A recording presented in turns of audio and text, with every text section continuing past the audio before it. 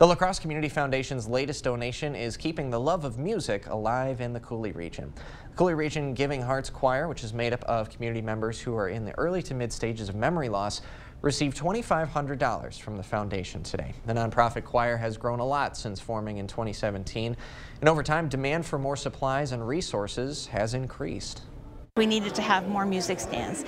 We needed to have more um, music um, written up and copied and more folders. The grant was huge and we are so thankful for that. The Giving Hearts Choir has three concerts a year, including their spring concert this morning. It was dedicated to two members who passed away, Bud and Warren. Cynthia Renkin says the choir has become her and her husband's chosen family. We feel the loss of Warren and Bud, I mean, like they were our brothers, you know. So, but that's the uniqueness of this choir. It becomes one big family because we all have something in common. The Giving Hearts Choir is currently accepting donations. We've got more information at news8000.com.